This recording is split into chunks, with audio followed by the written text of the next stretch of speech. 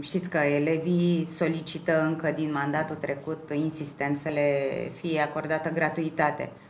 Și e rămas E un drept așa. al lor. Ce E o, veți lege, face? e o lege care le spune foarte clar gratuitatea elevilor. Am avut o discuție și cu reprezentanții lor. Acum, ce să zic? Unde se împotmolește această Problema problemă? este simplă. Să ne se indice sursa de finanțare în lege și ieri am primit de la Ministerul Finanțelor să vă dau adresă prin care Ministerul Educației este cel care va deconta transporturile. Deci elevilor. lucrurile sunt la Ministerul Exact. Educației, uh, Da, respectiv nou- Inspectoratul Școlar. Școlar. De acolo Adică- trebuie să vină bani pentru De această acolo, decontare? de acolo văd și logica, pentru că nu știm noi câți elevi sunt. Așa a fost gândit. De unde să știu eu câți elevi, care este ruta, cât... uh, Al doilea lucru trebuie să fie și un control, că nu dai că elev face naveta de la, spunem, Năvodar Constanța, da?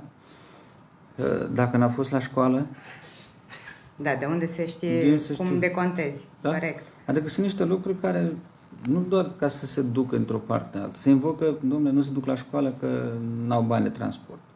Există și astfel de situații, nu putem să le excludem.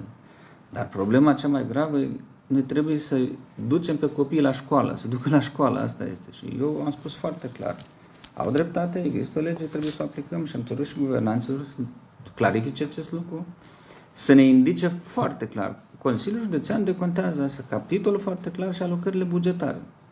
Eu, astăzi legea, cum a fost dată, și cu clarificări primite la Ministerul Finanțelor, că am cerut și la dezvoltare, și la educație, și la, la Ministerul Finanțelor să ne spună că ne-au amețit cu toate ordonanțele astea de nu mai știi. Ba că e ăla, ba că e ăla, nu știm. Adică lucrurile astea, dacă dăm niște legi, trebuie să nu dăm și normele care, de aplicare. De acestora. aplicare. Ori nici până astăzi nu sunt niște norme clare, precise. Spune, domnule, ești Consiliul Județean, matale să dai bani la copii. Uite, noi în capitolul ăsta îți prindem bani ca să decontezi la copii. Nu sunt îndelu- îndesfălători, că nu știu ce fluctuație a prețurilor. Atunci tu dă- caută sursa financiară și acoperi asta. Dar atât timp cât nu sunt lucrurile astea, n-ai cum să le iei.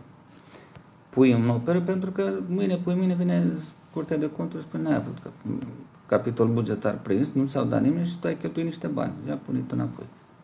Deși cei care suferă sunt copii, fiind sinceri. Bun, deci aveți aceste răspunsuri și mai departe metodologia este așteptată. Noi, am Să făcut, știți. noi suntem pregătiți cu totul din decembrie anul trecut. Singura, singurul lucru exista și există în continuare este indicarea sursei cine plătește.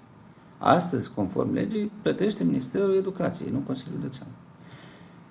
Se îndreaptă lucrul ăsta și vine la noi, avem totul. Și sistemul de contare pus la punct pe bază de abonamente, de tichete, de vouchere.